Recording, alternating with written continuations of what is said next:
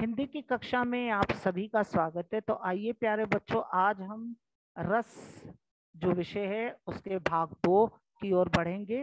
तो हम आज रस के भाग दो, पहली भाग में हमने स्थायी भाव के बारे में समझा था तो आज हम विभाव के बारे में समझेंगे।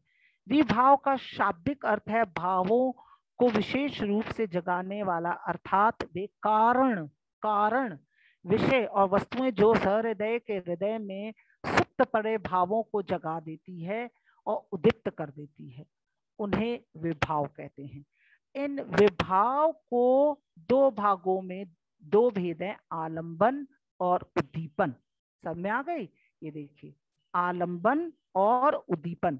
आलंबन के भी आगे दो भेद हैं और उद्दीपन के भी आगे दो भेद हैं। चलिए, अब जैसे मैंने आपको एक उदाहरण दिया कि मैं हर्षिता के सामने से गुजरी और बेवजह और कारण मैंने उसको एक चपाट मार दी, एक थप्पड़ मार दिया तो उसके वहाँ से क्या क्रोध का भाव जागृत होगा? अब मैं कारण बनी ना, मैं कारण बनी आपके अंदर भाव जगाने के लिए तो वे भाव होते कारण, जिसके कारण भाव जगते हैं।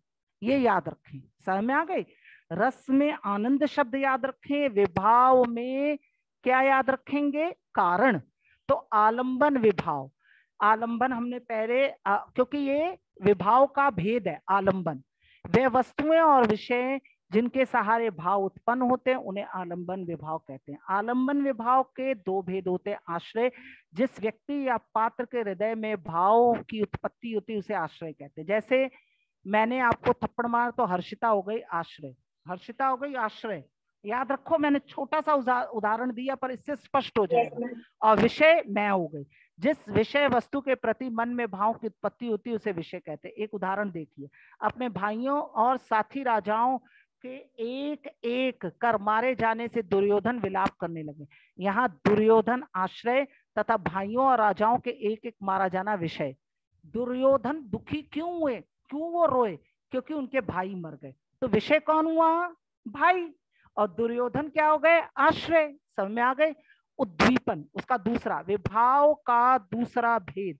उद्दीपन वे बाह्य वातावरण, चेष्टाएँ, अन्य वस्तुएँ, जो मन के भावों को उद्दीप्त अर्थात तेज करते हैं, उन्हें उद्दीपन विभाव कहते हैं। जैसे बाह्य, अब जैसे और भी सारे बच्चे खड़े हो जाएँ और कहें, मारिए मारिए, इसको और मारिए मारिए।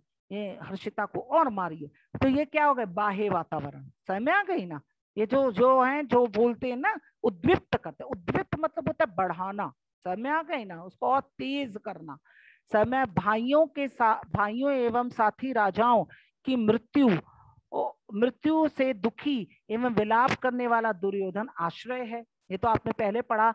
यहाँ युद्ध के भयानक दृश्य, भाइयों के कटे सिर घायल साथी राजाओं की चीख, पुकार, हाथ पैर पटकना आदि क्रियाएँ दुख के भावों को और भी क्या करते हैं? बढ़ाते हैं, उद्दीप्त कर रही हैं। तो ये सभी क्या हो गए? उद्दीपन विभाव। समझ में आ गई? ये सियानो, ये समझ में आए? यहाँ तक समझ में आए? तो आज हम दूसरे भाग में, जो रस का जो दूसरा भाग है, उसमें हमने क्या पढ़ा? किस बारे में पढ़ा? विभाव। विभाव के दो भेद, आलंबन और उद्दीपन। आलंबन के दो भेद, आश्रय और विषय।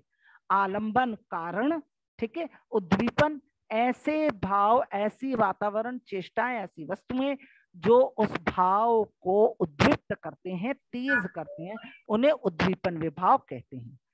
तो आज के लिए मैं अपनी वाणी को यहीं विराम करती हूँ। धन्यवाद।